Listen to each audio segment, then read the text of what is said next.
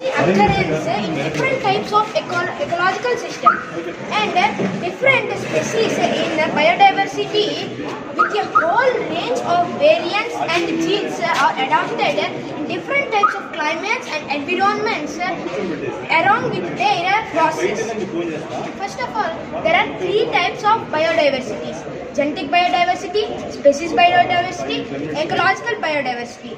What is species diversity? The variation of uh, the variation of species between animals and plants uh, in habits or climates. What is um,